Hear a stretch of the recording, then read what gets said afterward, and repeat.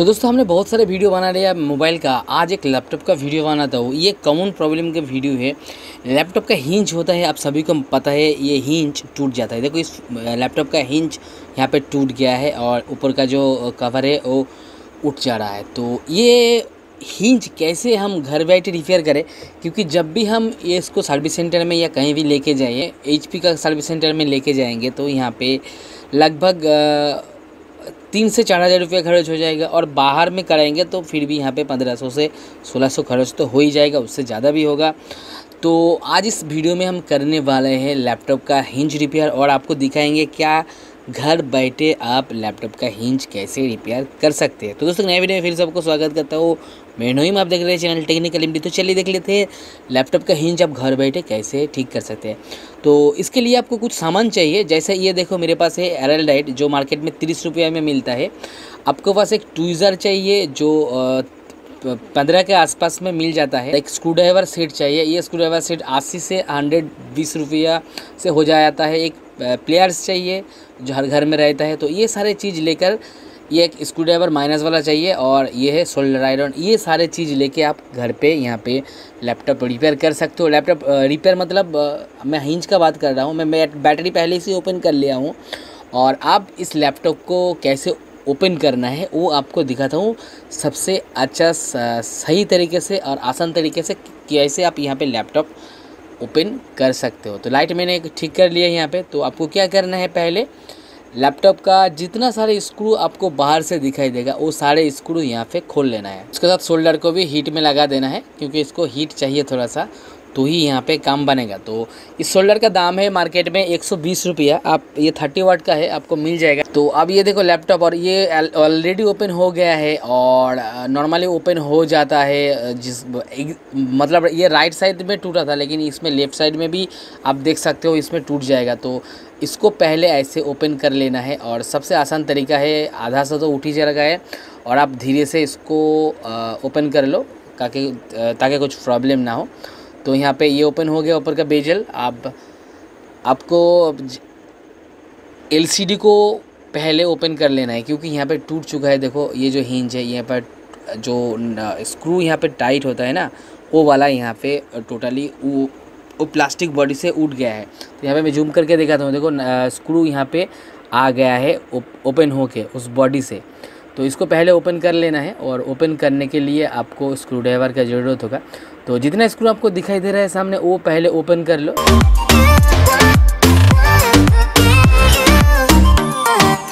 तो यहाँ पे ओपन हो गया है। आप इसको डिस्प्ले केबल को आपको थोड़ा सा हाथ लगे ओपन कर देना है, नहीं तो आपको प्रॉब्लम हो जाएगा। और टूट ऐसा ओपन करना जैसे टूट ना ही टूटे ठीक है? तो यहाँ पे हो गया एलसीडी ओपन आप एलसीडी को हम साइड में करते हैं क्योंकि इस लैपटॉप का एलसीडी का प्राइस भी बहुत ही होता है और ओरिजिनल भी यहाँ पे आ, मिलता नहीं है और मिल भी जाता है तो प्राइस भी आपको ज़्यादा पड़ता है। तो यहाँ पे ओपन हो गया। अब हमें क्या करना है? इस बॉडी से टोटली इसको निकल लेना है और पूरा जितना सारे स्क्रू यहाँ पे दिख रहा है सारे को यहाँ पे ओपन कर लेना है। तो हिंज का देखो यहाँ पे स्क्रू दिख रहा है। जितना स्क्रू आपको दिख रहा है, वो स्क्रू आप पहले ओपन कर लो। ओपन हो जाने के बाद आपको ये आप नीचे वाला हिस्सा को ओपन करना है। तो नीचे वाला का हिस्सा ओपन करने के लिए आपको नीचे जितना स्क्रू दिख रहा है इसका बॉडी में, वो स्क्रू आप ऐसे ओपन कर लो। जितना देख रहा है आपको।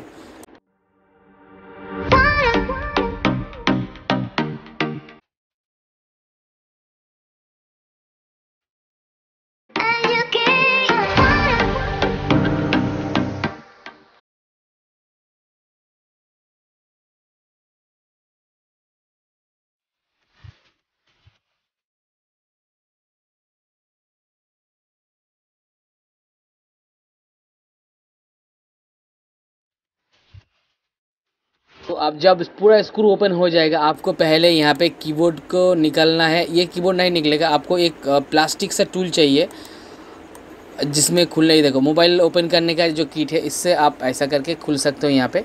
तो साइड में प्रेस करके, करते हुए आप थोड़ा सा इधर उधर करो तो ये ओपन हो जाएगा। और ओपन हो जाने के बाद ये टोटली अलग हो जाएगा। तो यहाँ पे थोड़ा सा प्रेस देके और आसानी से करना यहाँ पे कुछ केबल्स होता है जो आपका कीबोर्ड में लगा होता है, कुछ टच पैड में लगा होता है, कुछ पावर बटन पे लगा होता है तो वो सब ध्यान रख के आपको धीरे से काम करना है, नहीं तो वो टूट जाएगा तो आपको थोड़ा सा प्रॉब्लम में पड़ जाओगे तो।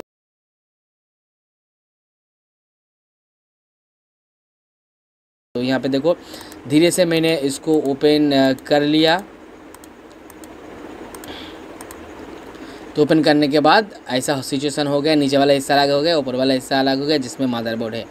तो यहाँ पे एक वायर आप देख पा रहा हो, ये जो वायर है तो ये है नीचे वाला हिस्सा, ये नीचे वाला हिस्सा आपको थोड़ा सा साइड कर लेना है। तो यहाँ पे ये दोनों हिंच है एक्चुअल हिंच नहीं टूटा है, यहाँ पे मैं आपको दिखा देता हूँ नज़दीक से, ये जो हिंच जहाँ पे रहता है ना, यहाँ पे टूट गया है। तो ये देखो, ये जो स्क्रू का स्क्रू जहाँ से पकड़ते हैं, वो वाला उठ जाता है। तो एक्चुअली ये राइट साइड में हुआ था, पूरा टूट गया यहाँ पे देख सकते हो, लेकिन ये लेफ़्ट साइड में भी असर हुआ।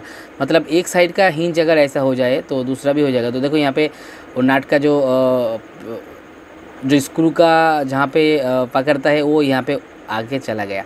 और नीचे में भी जहाँ यहाँ पे रहता है हिंज यहाँ पे भी टूट गया। देखो, दोनों तरफ़ लेफ़्ट में ये है लेफ़्ट साइड और ये राइट साइड, ये राइट साइड में तो टूटा ही है और लेफ़्ट साइड में भी टूटा है। मतलब एक साइड का हिंज ऐसा टूट जाएगा तो आपको दो साइड का ही जाएगा। तो ये बहुत जल्दी मेरे पास लेके आया था, इसीलिए हिंज नहीं टूटा था। अगर हिंज टूट जाता तो यहाँ पे खर्च थोड़ा सा और ज़्यादा हो जाता।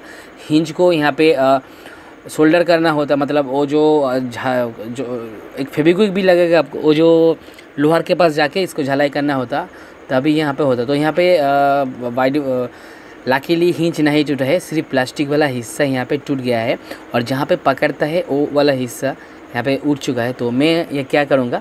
वो जो एरल लाइट आटा है, वहाँ से हम स्क्रू को लगा, स्क्रू का जो पकड़ने वाला चीज़ होता है, उसको लगाएँगे और यहाँ पे जितना सारे चीज़ है, इसको हटाएँगे। और ये देखो, यहाँ पर भी मेरे को खोलना है। अब जितना सारे स्क्रू आपको हिंच के तरफ़ दिख रहा है, वो सारे हिंच यहाँ पे ओपन कर लेना। करने के बाद आप देखो, ये जो स्क्रू पकड़ता है ना, ये वाला चीज़ को यहाँ पे बैठाना है, यहाँ पे बैठाना है और जहाँ पे आपका वो वाला स्लॉट मिल रहा है, वहाँ पे आप शोल्डर से कर सकते हो, लेकिन जहाँ पे स्लॉट नहीं मिल रहा है, यहाँ पे स्लॉट आपको क्रिएट करना होगा एरेलाइट आठा से। एरलाइट गाम से तो एरलाइट गाम को भी मैं दिखाऊँगा कैसे ये करना है। पहले मैं नीचे वाला जो नीचे वाला जो हिस्सा है, इसमें भी ऐसा ही हुआ है तो यहाँ पे मैं, यहाँ पे एक्चुअल स्लॉट है तो इस स्लॉट में मैं देखता हूँ, जो नट पकड़ता है, उसको मैं लगा देता हूँ शोल्डर से। थोड़ा सा हीट दे के यहाँ पर बैठाना है, और बैठने के बाद ये एक्चुअली फिक्स्ड हो जाएगा।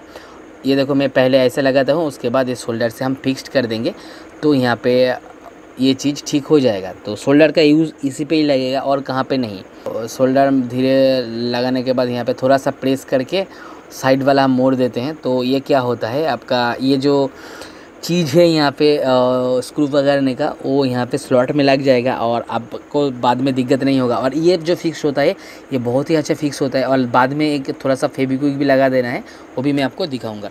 तो ऐसा करके जितने स्लॉट ठीक है, उसमें हम लोग ऐसे करके शोल्डर से लगा देंगे और जहाँ पर स्लॉट नहीं है, वो हम कैसे करते हैं वो एक बार देख लो।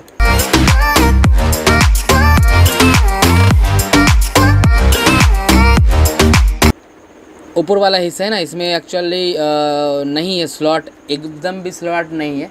तो इस स्लॉट के लगाने के लिए आपको थोड़ा सा शोल्डर से हल्का लगाना है, नहीं तो इधर उधर हो जाएगा तो प्रॉब्लम होगा आपको, ठीक है? तो यहाँ पे हमने क्रिएट करूँगा, ये देखो, यहाँ पे स्लॉट नहीं है तो थोड़ा सा हीट दे के हम यहाँ पे लगा देंगे और लगाने बाद थोड़ा सा यहाँ पे फेविक्विक भी लगाएँगे। देखो, यहाँ पे टोटली स्लॉट नहीं है, लेकिन यहाँ पे हमें क्रिएट करना होगा। आप क्रिएट करने का जो सिचुएसन है वो आप देख लो ट्रूजर से पकड़ लो और जहाँ पे स्क्रू लगना लगता है, वहाँ से थोड़ा सा मतलब हल्का सा यहाँ पे शोल्डर लगा के लगा देना, नहीं तो यहाँ पे इधर उधर हो जाएगा तो आपका बॉडी ख़राब हो जाएगा। इसको भी ध्यान रखना है, नहीं तो आप नया तरीके से यूज़ नहीं कर पाओगे, ये एक बात है यहाँ पे। तो थोड़ा सा धीरे से संजम रख के आपको यहाँ पे करना है। फेबिक्विक से थोड़ा सा यहाँ पे फिक्स्ड करना है और फेबिक्विक हमें ऐसा लगाना है, अंदर में नहीं चला जाए नहीं तो बाद में आपको स्क्रू आटने में भी प्रॉब्लम होगा। तो साइड साइड से नीचे यहाँ पे लगाना है और ये जब पकड़ लेगा, तब आपको एरालाइट का काम अब आएगा। तो अब यहाँ पे मैंने फेबिक्विक से भी कंप्लीट कर लिया। आप ये देखो एरालाइट जो है, वो अभी हमें क्रिएट करना है। दोनों को ब्लू डब्बा से और वाइट डब्बा से लेने के बाद यहाँ पे आपको घोलना है। और इसको अच्छे तरह से ठीक ये अच्छी तरह से मिक्स करने में ये जो गाम क्रिएट होगा ना, ये बहुत ही बढ़िया गाम क्रिएट होगा। तो ऐसे मिक्स कर लेना आप मिक्स करने में वाइट वाइट आएगा और हो जाने के बाद ये ऐसी तरीके से साइड में साइड में लगाना है। तो ये गाम एक्चुअली फिक्स्ड होने का जो टाइम लगता है चार फोर आवर्स मतलब ये गाम फिक्स्ड होने के लिए चार आवर्स फोर आवर्स टाइम लगता है। लेकिन उससे पहले आपको जब ये पे लगा दोगे, लगाने के बाद ये क्या होगा? साइड हो जाएगा। तो आपको एक घंटा या दो घंटा बाद इसको फिर से एक बार देखना होगा और साइड से जितना माल यहाँ पे बिछड़ जाएगा, उसको फिर से उठा देना होगा, फिर यहाँ पे फिक्स्ड होगा। तो ऐसे लगाओ जो स्क्रू का जो ओपन एरिया है, उसमें ना जाए, नहीं तो स्क्रू टाइट करने में प्रॉब्लम आएगा। तो राइट साइड का मैंने कर लिया, इसी तरह से हमने यहाँ पे लेफ़्ट साइड में भी कर लूँगा। धीरे धीरे देखो, नीचे में भी लगाना है। जहाँ जहाँ हुआ है, वहाँ वहाँ लगाना है। फिर इसको हम रखेंगे और रखने के बाद दो घंटा बाद आके यहाँ पे थोड़ा सा इधर उधर करना है। नहीं तो ये जो गाम है, ये टोटली बिखर जाएगा और प्रॉब्लम हो जाएगा। आफ्टर सिक्स आवर्स बाद मैं देख रहा हूँ छः घंटा हो गया ऑलरेडी तो छः घंटे के बाद अगर हम यहाँ पे देखें तो सब कुछ मैंने ऐसे करके रखा गया था, क्योंकि आपको बोला था मैंने टाइम लगेगा। तो टाइम लगा है यहाँ पे और छः घंटा हो गया है। तो छः घंटे बाद अगर हम यहाँ देखें यहाँ पे तो पहले चीज़ आपको यहाँ पे देखा था हूँ देखो यहाँ पे जो आ, हम लोग स्क्रू डाला था ये टोटली यहाँ पे टाइट हो चुका है और बहुत ही अच्छी तरीके से यहाँ पे हो गया तो ये बहुत ही अच्छा हो गया और ये खुलेगा भी नहीं ठीक है? तो जितना सारे स्क्रू था हमने यहाँ पर बना लिया। अब इसको हम फिक्स करेंगे तो यहाँ पे हो जाएगा और नीचे वाला भी यहाँ पर भी हो गया। पहले हम करते हैं इसको लगाते हैं।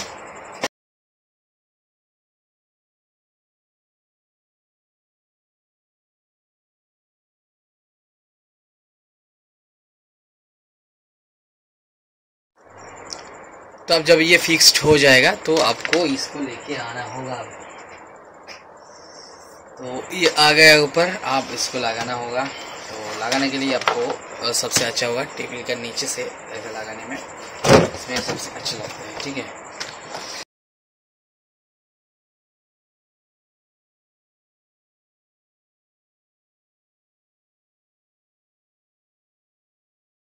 तो यहाँ पे फाइनली मैंने फिक्स्ड कर लिया हूँ और ये टोटली फिक्स्ड हो गया है। आप, आपको मैं ऑन करके दिखाता हूँ ये ऑन कैसे होता है। तो लैपटॉप ऑन हो गया, आप देख पा रहा हो और सभी चीज़ यहाँ पे ठीक से काम कर रहा है, कोई दिक्कत है नहीं। तो इसी तरीके से आप लैपटॉप का हिंच फिक्स कर सकते हो और अगर आपका कोई भी प्रॉब्लम यहाँ पर हो तो मेरे को कमेंट पे बताओ या फिर मेरा व्हाट्सअप नंबर दिया हुआ है, वहाँ पे कांटेक्ट करो। आपका लैपटॉप अगर कुछ प्रॉब्लम होगा तो मैं यहाँ पे फिक्स कर सकता हूँ। या फिर आपका कुछ सॉल्यूशन चाहिए तो मेरे को बताना, मैं वो भी फिक्स कर दूँगा। तो दोस्तों, यही था लैपटॉप हिंज घर बैठे कैसे रिपेयर करेंगे, इसका वीडियो अगर वीडियो अच्छा लगे तो लाइक करना शेयर करना और मेरे चैनल पर नया हो तो प्लीज़ सब्सक्राइब करना। तो दोस्तों, आज का वीडियो इतना ही बाय